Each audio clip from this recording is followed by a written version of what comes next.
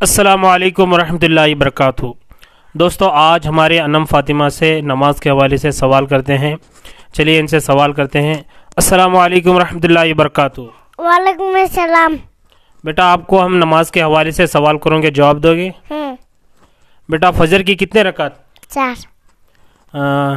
जोहर की? बारह। असर की? आठ। मगरिब की? साठ। इशा की? चर्चा। माशाल्लाह, आपने तो पूरे जवाब दिया, माशाल्लाह। दोस्तों, अगर आपको वीडियो अच्छी लगती रहे तो इस बच्चे के लिए लाइक और सब्सक्राइब ज़रूर कीजिएगा।